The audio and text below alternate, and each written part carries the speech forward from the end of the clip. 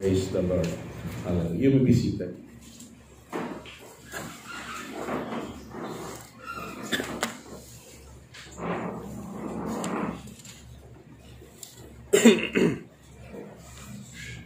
Hallelujah. Hallelujah. Good morning. Good morning. Praise the Lord. Hallelujah.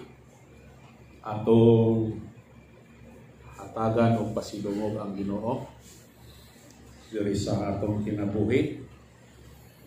Uh, we give Him all the glory and the honor. Amen? Amen. Praise God. Hallelujah. Thank you, Jesus. Uh, I'll be sharing to you from my heart, okay, especially at this time of uh, celebration during a pandemic. Kari sa tubangan, ma'am, dahil po. Palihura po ng tubig na kulong. Mani, mani, palihura, tubig, uh,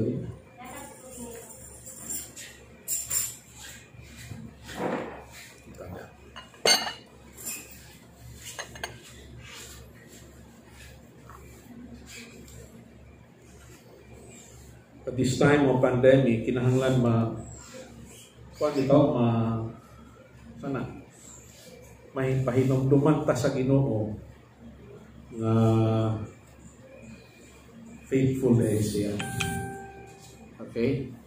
Faithful siya sa atong kinabuhi. I'll keep on pressing this button here because now I understand now na pwede at the same time ari makita ko or at the same time makita sa mo diha. Okay? Sa video. Praise the Lord. Hallelujah. Kasi at this time ba of crisis sa kalibutan, all of us should be able to be reminded na faithful ang Ginoo nato. Kanang matinon-anon ang atong Ginoo. Kay naaman ang Ginoo siya saad sa atong kinabuhi. Gani last time, last Sunday, I shared to you about uh, the promise of God to His people na He has plans for us. Nasa plano. Okay, sa iyang mga plano, daghang kayo siya mga saad. Goes with it, mga saad. O kinahanglan mahibaw ta na. Uh, it, it is here, okay, in Deuteronomy chapter 7, verse 9. Nagaingon din ha. Okay? Deuteronomy chapter 7 verse 9. Nagayon diha, Know therefore that the Lord your God is God.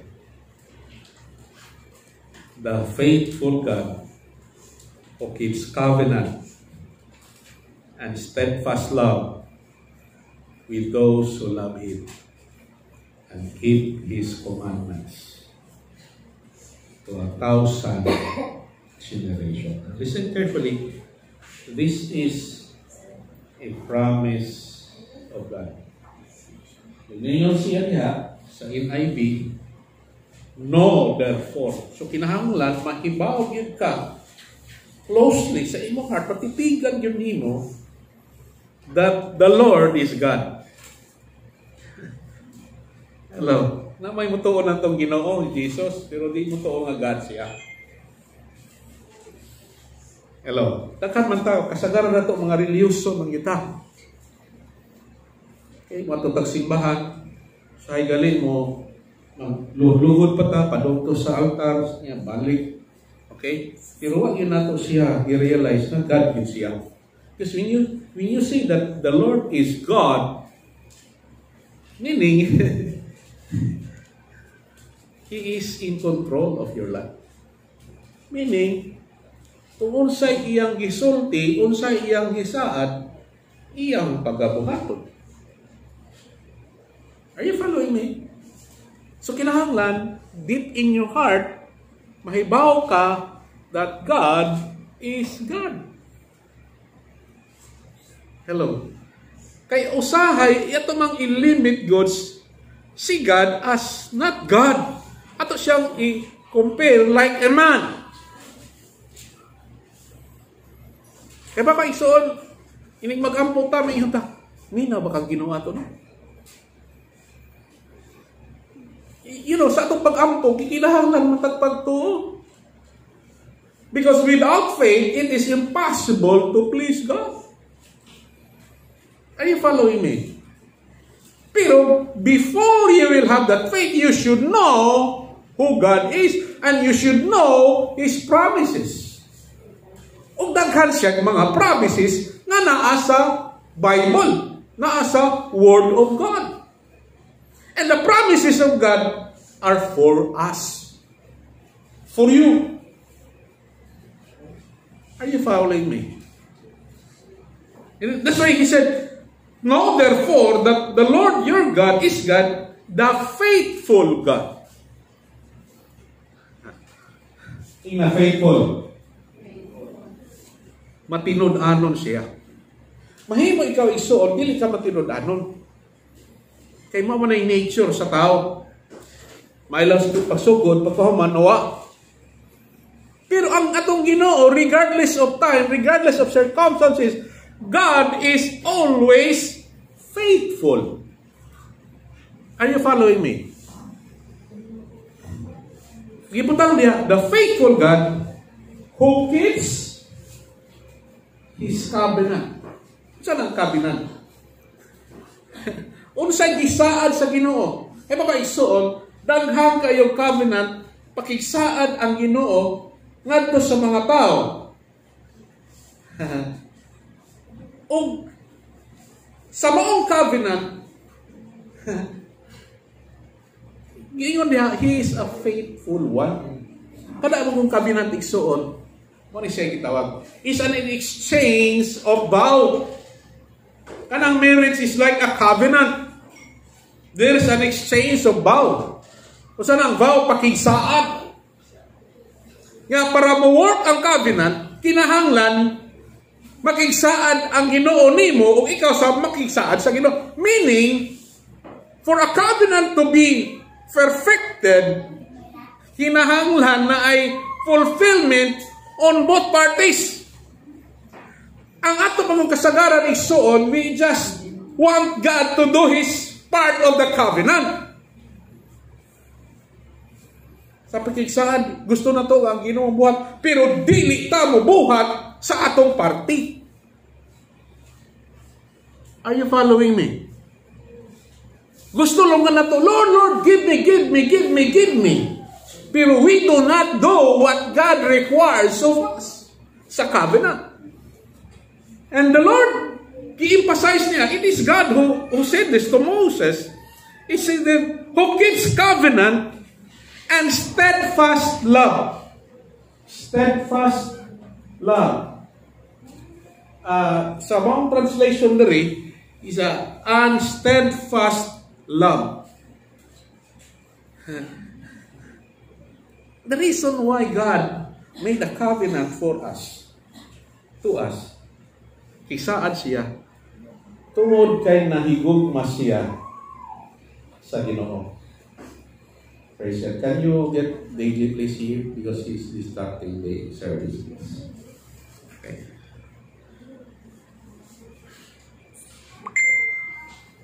Nawa na hinauso. Praise God. Who keeps covenant and steadfast love. Okay. Nakigsaad ang Ginoo kay nahigugma siya kanimo. Nahigugma siya sa iyang katawhan. Praise God. Okay? It's the nature of God. The reason why nakiksaad siya sa inyo ha, is because He loves you. As a matter of fact, the reason why Jesus Christ died in the cross, it is because of the love of God. Hello? And in the part of the covenant ni, ni Lord is that He is the faith, He is faithful. Pero kikinahanglan igsuon, ang atong part, we should also be faithful. Kasabot mo?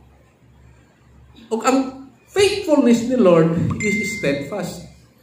And His faithfulness is through all generation. Yung tao tayo, oh, and steadfast love with those who love Him, okay, and keep His commandments, o sabi niya, to a thousand generation.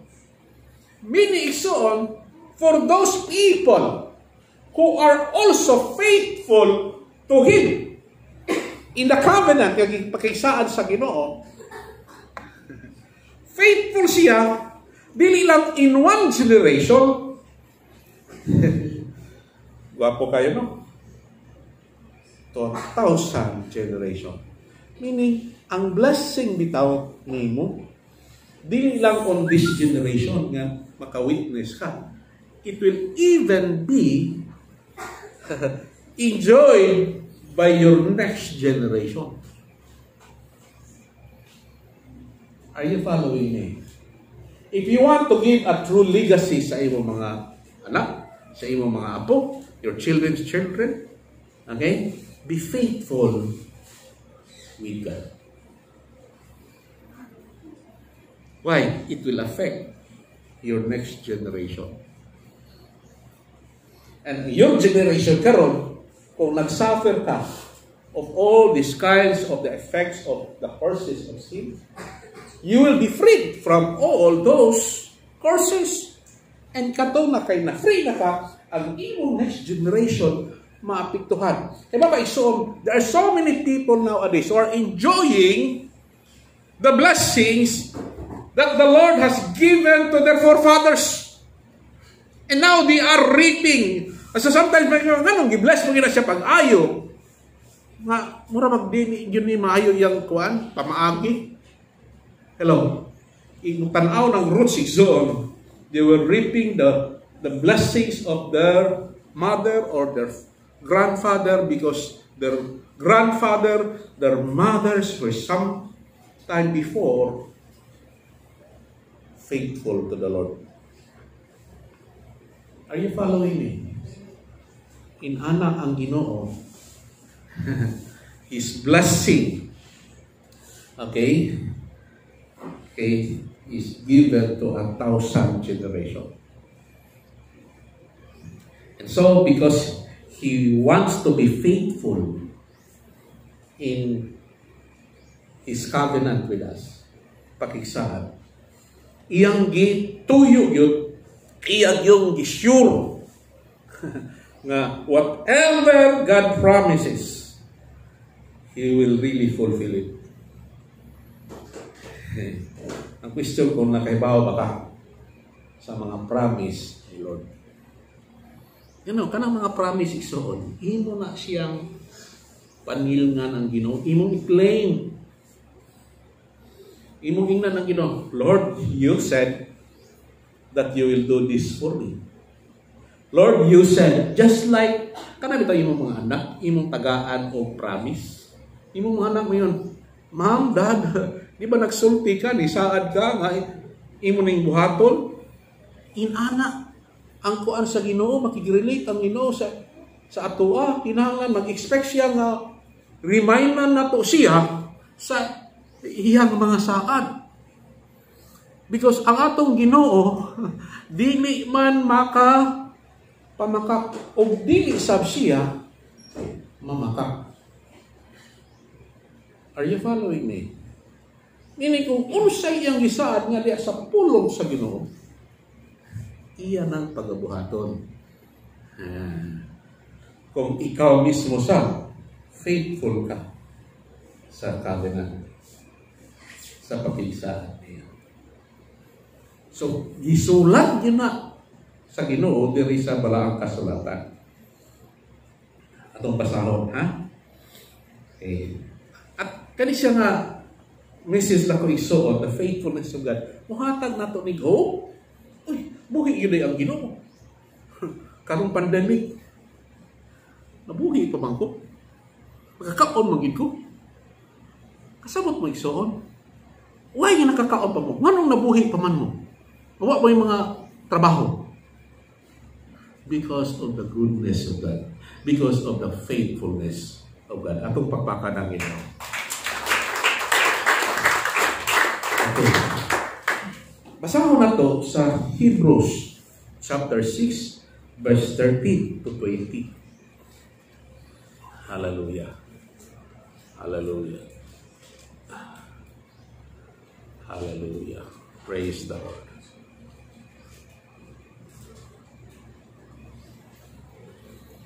Hallelujah. Basahin na to. Hebrews chapter 6 verse 13 to 20 in IB. Okay? Ato basahin. When God made His promise to Abraham, since there was no one greater for him to swear by, he swore by himself saying, I will surely bless you and give you many descendants. Niingon si Ginoong Isus, ang Ginoo, ah, Abraham, surely give blessingan kita ka, and I will give you many, many descendants. Sa promise na, that is the Abrahamic covenant of God. Okay? Isa, uh, and so after waiting patiently, Abraham received what was promised. Kani si Abraham, itawag ni siya sa Ginoo sa Bible as the heroes of faith. One of the heroes of faith. Okay? Mga bahinggali sa pagtuo, i- imo yun siyang example. And that's why he's called the called Father Abraham. Because he is the father of faith. He's a good example of faith. Because kani si Abraham, gi- giasaaran sa Ginoo at his age 90, Abraham, manganak ka. Pinagi kang Sarah. 90 years old na siya, Igsoon. Hello. In physically, wala na ipaglaom. Kay 90 na na. Pero isaaran sa Ginoo. And Abraham believed God. Masking imposible pa. Karong panahon na ison, it seems impossible to believe that God will prosper you at this time of pandemic. But God's promises is from one generation to another generation to all generation. Atong pagpaka ng Ginoo. And so Abraham's part is to believe and to obey God and wait. believe, obey, and wait. And after waiting, patiently, Sagara mo nato isuon, gusto ta sa blessings ni Lord within our time frame. Nang lan, bless, Lord, bless me Lord within today, within tomorrow, within this week, blah, blah, blah. Naguhat na kita ang Ginoo, tika mo na, ah. Are you doing your part? Hello. And so, he waited. While waiting, he's doing something. And then the answer came. Abraham received what was promised. Mamo ni siya, i-explain din ni San Pablo. Inyo sila si San Pablo ko na may author aning Hebrews. Ang uban murag dili ko no. Anyway, i-explain din sa Hebrews chapter 6 verse 16. Ibutang that. People swear by someone greater than themselves. And the oath confirms what is said and puts an end to all argument. Now listen carefully. Ang Ginoo nagbuhat siya pag-isaan. Ano sa pag-isaan? Promise. Manaad ka. That's a promise. Pero para yun masiguro,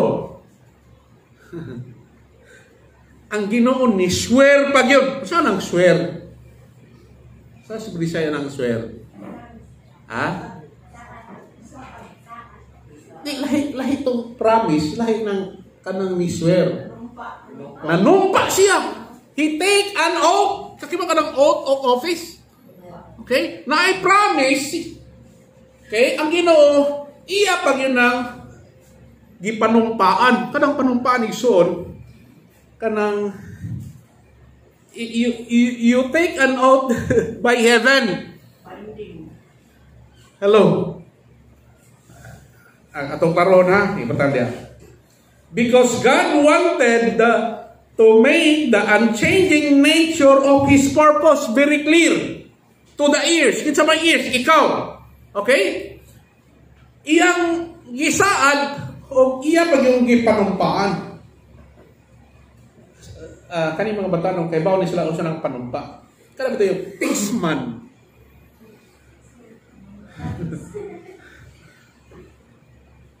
I really swear ang sana mamatay pa, pa ka.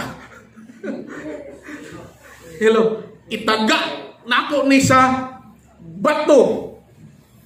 Are you following me? That is what we call swearing. So ang Ginoo ang Ginoo nagbuhat siya. Nakisaad siya o ganumpa pagin siya. What's the purpose of that? To make it okay? Because God wanted to make the unchanging nature of His purpose. Kay ang katuyuan sa Ginoo dili mausab ang plano sa Ginoo sa imong kinabuhi dili mausab naana siya giset nga plan for your life. That's why in Jeremiah 29 verse 11 says for I know the plans I have for you. Plans not to harm you but plans to prosper you and give you a future and a hope. Are you following me? So ang Ginoo naa siya, dili ba usab ang iyang mga gisaad. God is the same yesterday, today, and forever. If God doesn't change, kinsa may mo change? Ikaw, para mo conform ka sa purpose ni God sa imong kinabuhi. Amen ba? Atong pagpaka ng Ginoo. Ibutang na. Okay? Uh, because God wanted to make the unchanging nature of His purpose very clear to the ears of what was promised, He confirmed it with an oath. God did this so that by the two unchangeable things, sorry, two unchangeable things, ang promise ni Lord, ang iyang promise, iyang saad, ang iyang panumpa. It cannot be changed. Yung gidoble na siya, isigurado nila sa Ginoo so that in which it is impossible for God to lie. Kanang Bible igsoon, truth na siya o ang promises nga naa sa iyang pulong dili na mamakak. Kay ang Ginoo dili bakakon. itong pagpakan ng Ginoo. Lord, dili ka ba kako? Hmm. And so, mo na diha, ibutang diha. Okay? He who have planned to take hold of the hope set before us may be greatly encouraged. Inaman ikson ikaw nga magtutuo kang Ginoong Hesus, ma-encourage ka diay nga ang Dios na ipakisaan na asin panumpa para sa imong kaayuhan para sa imong success, para sa imong kalampusan o kalambuan. O kinahanglan na ison, you become faithful also in the covenant sa pakisaan. Exchange of vows. Saad ang ginoo sa imo ha, unsa may isaad nimo sa Ginoo. Kung ang saad sa Ginoo iyang gi-fulfill, o nakisaad ka sa Ginoo, imo ba nang gi-fulfill? Para you will be part faithful on the covenant, ang imong part, you have to fulfill. Buhaton man yun na to, pagtuo, pag-obey. Obey and be faithful to God. Amen ba? Atong pagpakan sa Ginoo. Amen. Grabe. We have this hope as an anchor for the soul, firm and secure. Kanini ay pakigsaan sa Ginoo sa ato ah, o iyang panumpa. Mao ni atong hope. Hallelujah. angkor. Unsa nang angkor? Sa kuan pa na sa barko, angkla. Kaning angkla igsoon usually gamito na kung ang barko naa siya sa port. Okay? They will down, put down the anchor. Okay? Para ang ang, ang barko dili siya ma-move by the waves. Mas stable siya. Okay? You know, it's, or, it's a, like a security nga mas stabilize ang ang barko. Mo na ipakanaog ang angkla. Kay kung walay angkla, dili ang dili stable ang barko nga naa sa port. Sa tabo, kung naay dako kayong waves, ma bal masala mabunggo siya sa puerto. Madaot ang barko. Mausap ni siya ang saad sa Ginoo kaniyang kaniyang promise kaniyang panumpa kani covenant niya is a good anchor for our soul. Nga makasalita nga he who promise uh, is faithful to do his part. Atong pagpakanan Ginoo.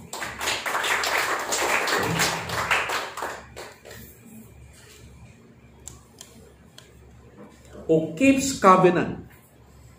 Okay? So, mo siya igsoon.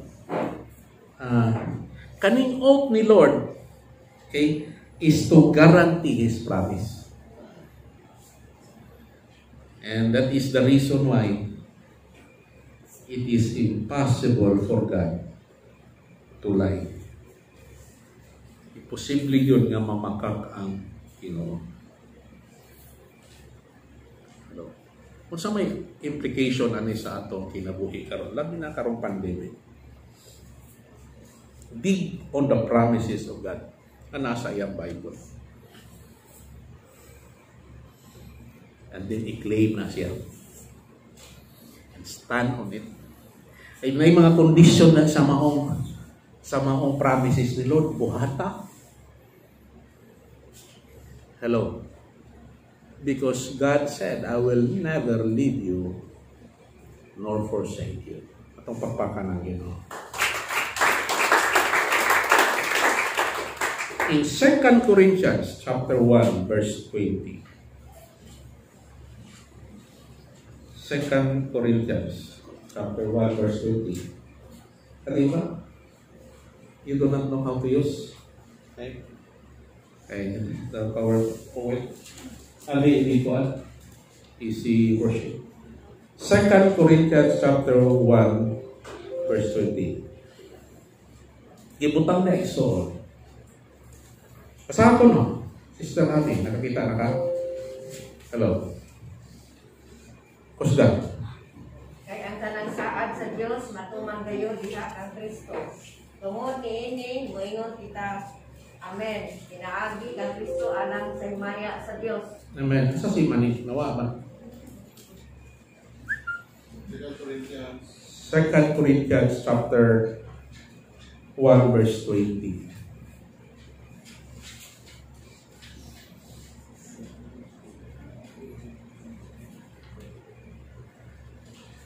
Praise God. Hallelujah. 2 Corinthians chapter 1 verse 20. Ato pasahon, gusto na ito basa. For no matter, ready go. For no matter how many promises God has promised me, they are yes in Christ, and so through Him the Amen is spoken by us to the glory of God. Ako karoon niya, for as many promises God has made. So sa Bible, daghang kay promises ang Ginoo gibuhat niya. Okay? Mga saad. O niya, kaniyang saad, nakapagyon siya ay panumpa. He made a covenant. Okay? Gibutan niya, they are yes in Christ. Kaya kay son, the reason why Jesus Christ died in the cross is to fulfill the will, the will of the Father. And the will of the Father is to bless you. And so when Jesus Christ died in the cross, He fulfilled all the will of the Father. And that's why in the cross He said, It is finished. And that's why all the promises of God are completed in Christ. And that's the reason why when you ask God in prayer, you have to ask this in Jesus' name. Because by yourself, the promises of God cannot be fulfilled. It's only through Jesus. When you pray and believe in Him, that all the promises of God will be for you. And that's why it's called yes in Christ. Are you following me? Hello? Ibutang niya. Now, The yes here is in Christ. But there is a part that we have to do. First, obedience. There's a part that confirms it. It is here. And so through Him, through Jesus Christ, the Amen is, spoken by us.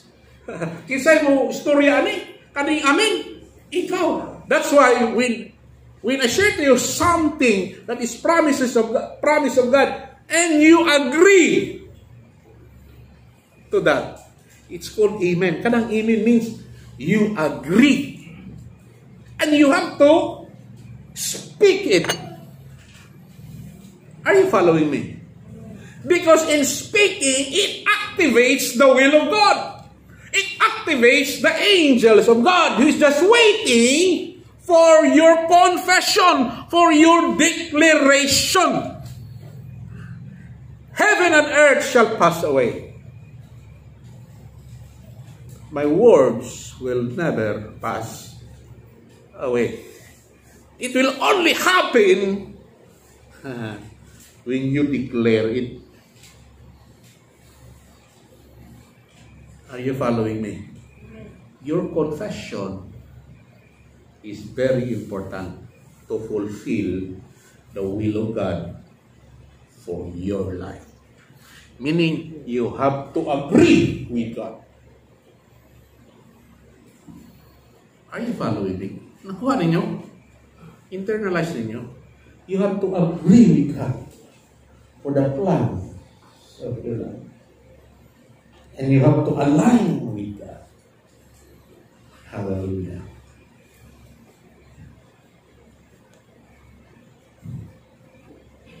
Second Corinthians chapter 1 verse 20.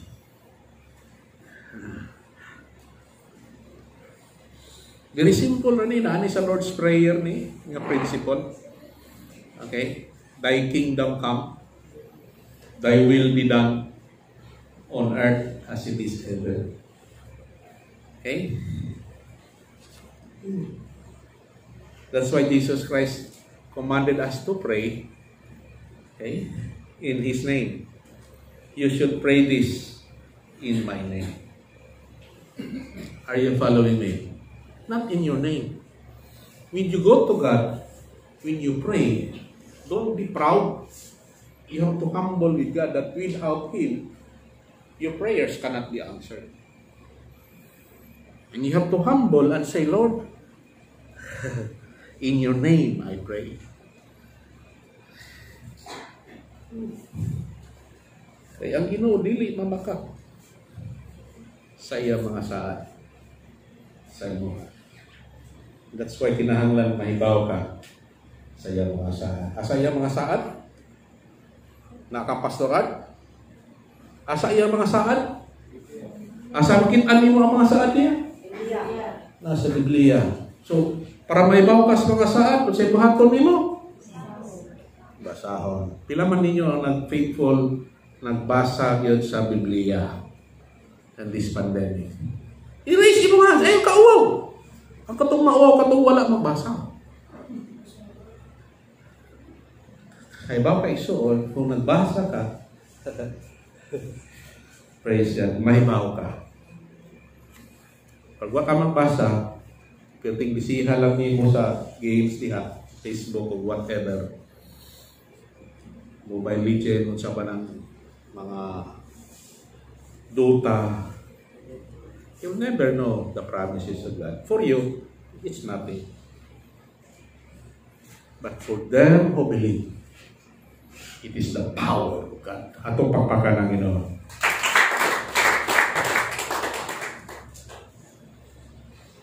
Naipagsaad, panagsaan ng Ginoo diri sa Biblia. Lamentations, chapter 3, verse 22 to 23. Saan niya one of the promises? Pero daghang kay promises si Ginoo, ang Ginoo nato.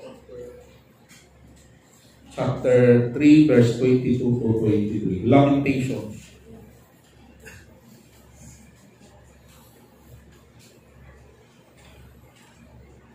Sige na ito ni kanta-kanta. Okay? Ang, at- ang Ginoo raman naghuwat raman sa atong obedience to fulfill our part in the covenant. Katong inyon, di mo ko kabasa. Ako nang gi-advise ninyo, la, pagita diha naman kay cellphone, i-download ng mga audio Bible. Kung di ka kaya ba kasabot og in English, i-download ng audio Bible nga Cebuano, niya paminawa. Yan na kay Bible. Sa di ka kabasa, makasabot ka. Are you following me?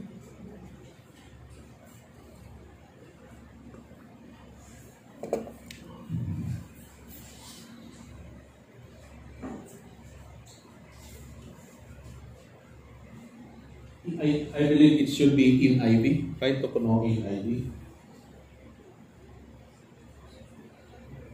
Oh, yeah. Uh, make it uh, kanang King Version or New King James Version. Para kasapot sila dyan. Basically, this is a song na to ganina. Ikanta ni David. The steadfast love of the Lord never ceases. His mercies never come to an end. They are new every morning.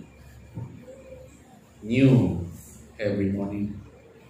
Great is your faithfulness.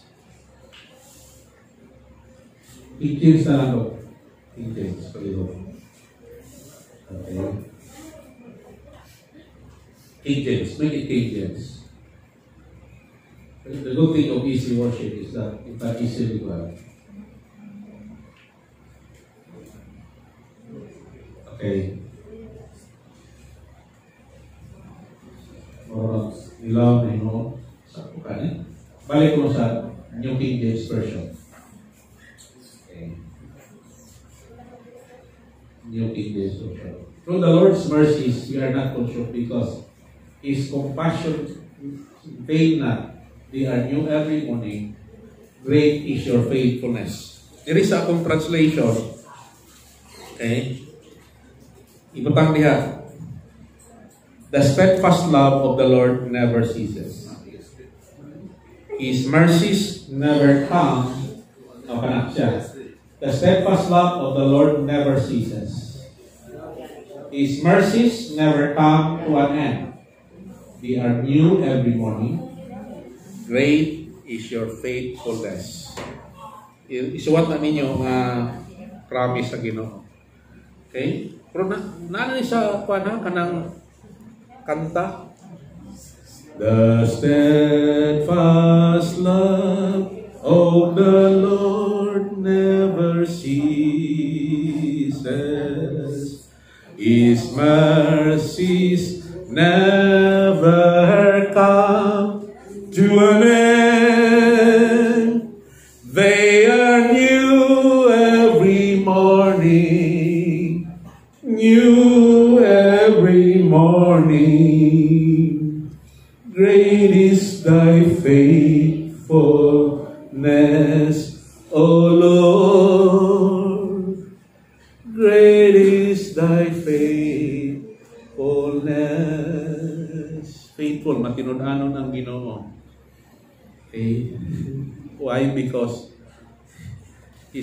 Love never ceases.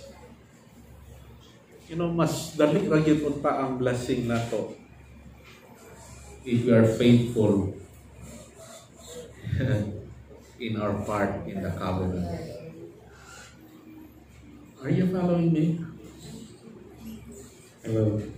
I, this is one of my favorite songs because every day I'm experiencing the faithfulness of God. Okay? You want to experience the same, the faithfulness of God? How do you experience God's faithfulness? Kana lang, okay bugas, nag-ampo ka, yeah, somewhere, nakakaon ka. That's the faithfulness of God. Okay? Hapit ka ma disgrasya, somehow, there's a situation niya, nalikay ka sa disgrasya. That's the faithfulness of God. Ikaw, Perry, somehow, wala kang maapil sa pinusilay. That's the faithfulness of God. Hello? You know, because God is faithful in His part of the covenant, pakigsaan. Ang gusto ni Lord sa ato ah, faithful sa ta. Kay kanang covenant magod, exchange na siya og pakigsaan. Exchange of vows like in the marriage covenant. And ang kagwapo ni Lord, kaya ang faithfulness fresh ba? Usahay ang atong mga kadaugan atong gibasi long long time ago. No, God always faithful to you every day. Are you following me? Pagpanga na to ang.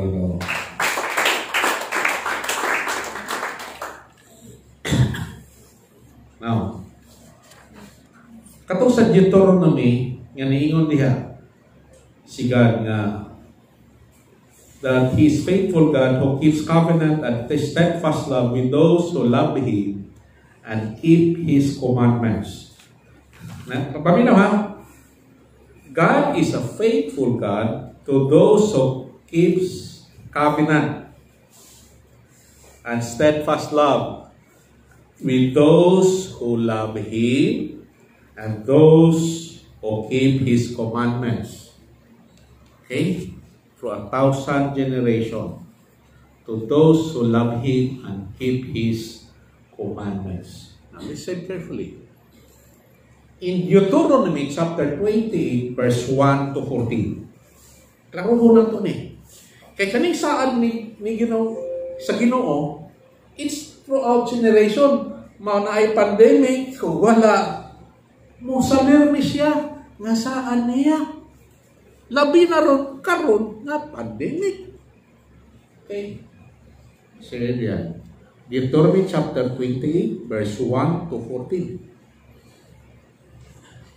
Maybe unahon na to siguro ang 1 to 5 siguro. Okay? Para, para dako siya to. Okay. Ah. Basahon na to. Okay? Mao na lagi ng pastor ay. Ilibasa mo lang to. Kung hindi mo pati ukang ng Biblia, naibaw na ka. Kita lihat. Basa. Ready go. If you only obey the Lord your God and carefully follow all His commands, I give you today, the Lord God will set you high above all the nations of earth. All these blessings will come upon you and accompany you if you obey the Lord your God. You will be blessed in the city blessed in the country.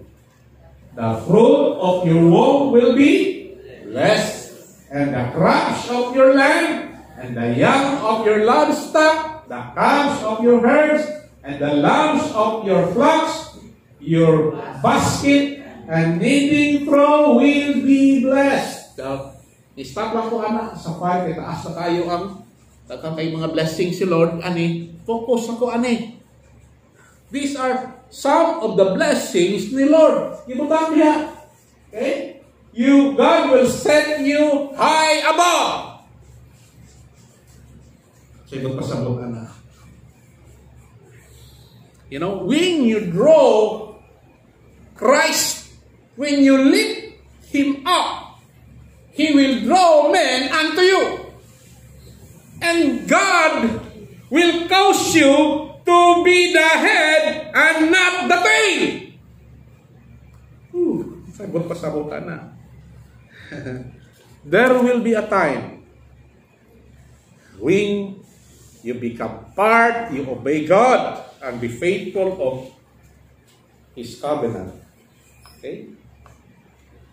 There will be a time that you will become head and not the tail. Karon lang, okay ra. Because it's part of your grooming. And you're growing. I mean, we knew of, uh, you're good, you're already of age. You will see the fulfillment of God in your life that you become a head. What did by head? Presidente? Maybe. Uh, mayor? Maybe. Barangay captain? Maybe. Or maybe it may be only in the area of your domain. Meaning, you are good in drawing. Maayo ka nga artist. You become a leader there. You become the head. Hello, you may not be a mayor, but because God has given you some gifting, you excel in that. Are you following me? Because everyone is given by God a gifting that is in his area of domain. Kitang tanan na atay area of domain. Ano sa ng domain? Or luck in life. Reason why God made you. Ano kay grado? Pero may kamuluto. Maybe that is your area of domain. And be good at it. Train yourself. Maski gifted na ka, anang area ha, hala, learn further to be more excellent in that area of your domain, which is cooking. Hello. Kabian man ko. Maybe your area of domain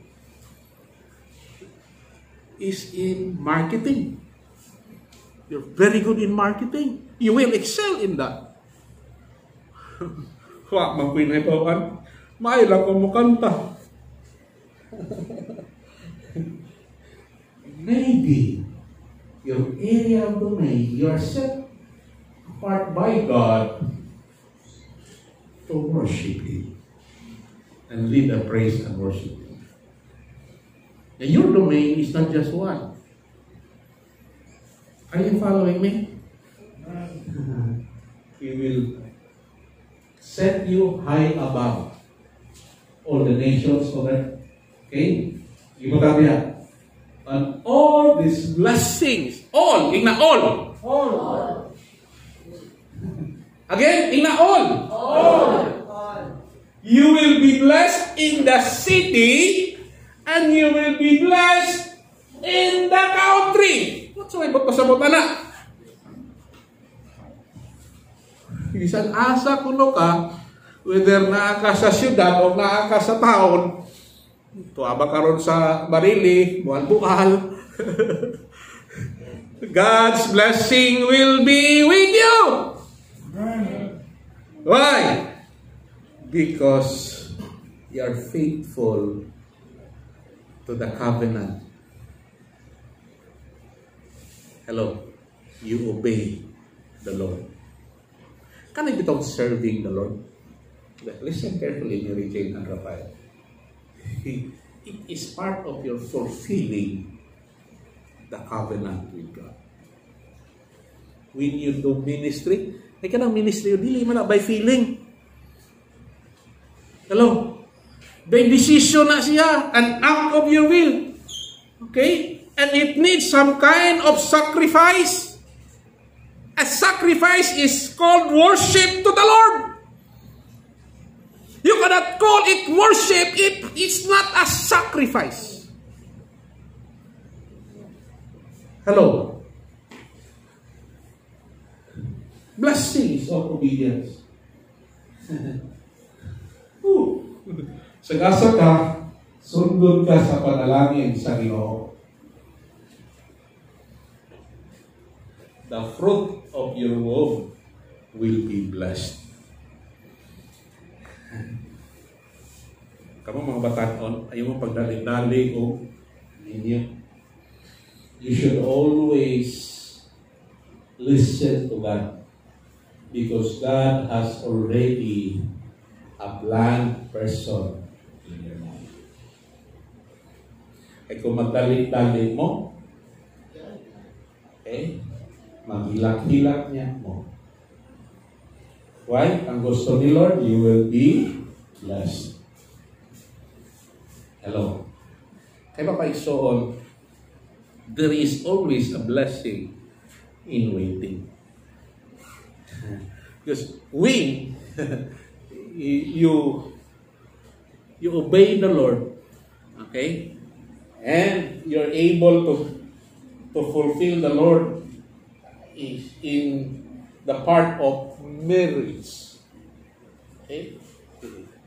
Kaning imong nas imong womb is called blessed. Okay? And that's why gibutang niya your the fruit of your womb will be will be blessed. Okay? Now, the perfect will of God is that you obey Him. And sometimes you don't obey God.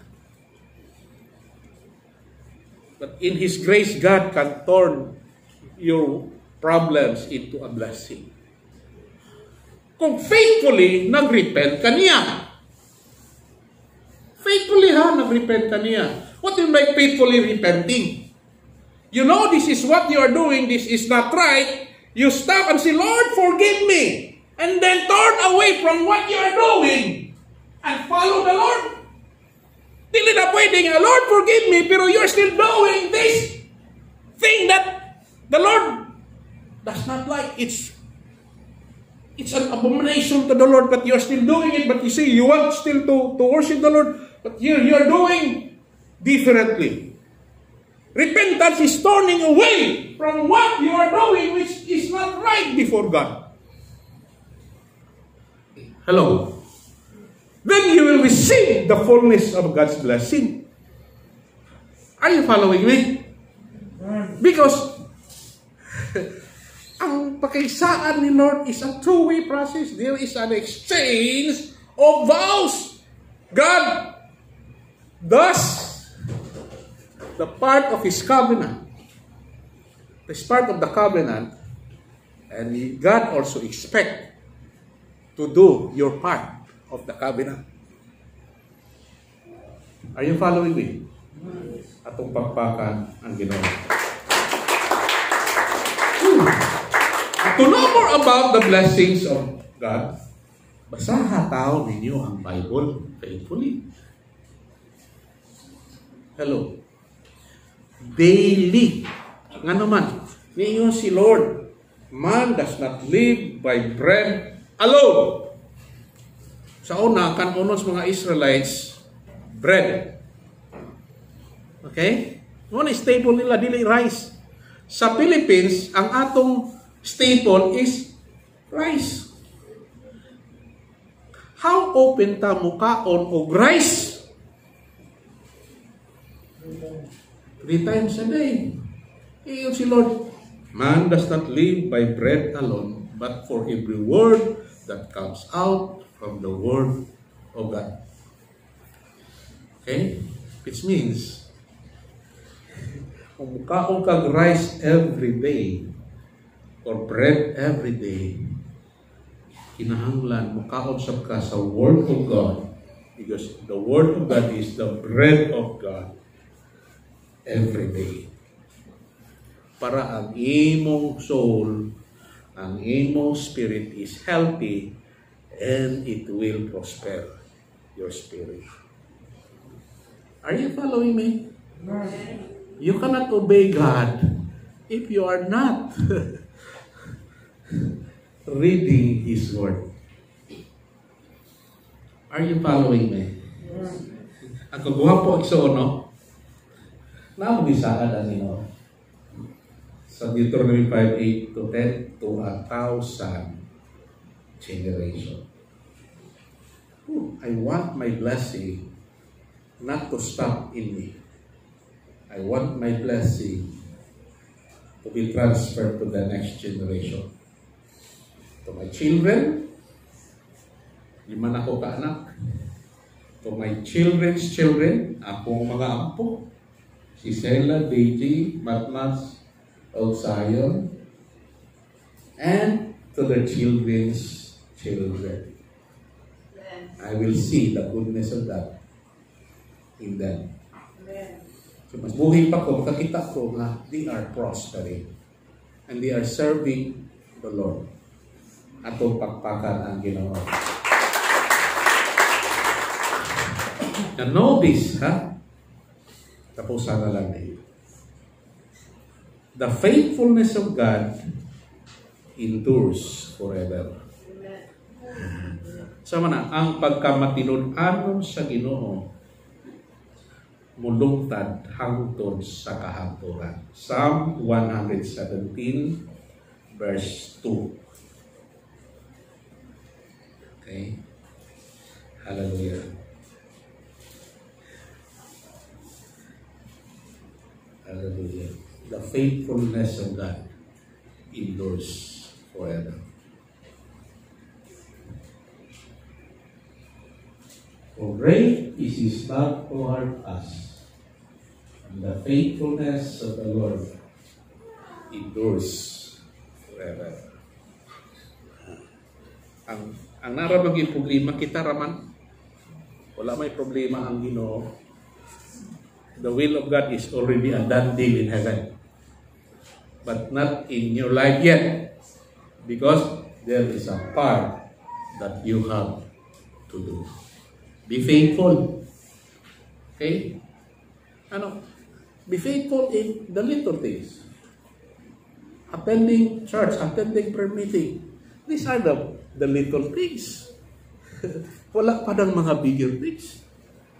Alam kay the principle of God if you cannot be trusted by Him with the little things who will will God trust you with the bigger ones okay are you following me so do the little things okay praise God ang upan gali ka ng pagsimba dili naman na big deal hello mo adto mo yung simbahan regardless of circumstances.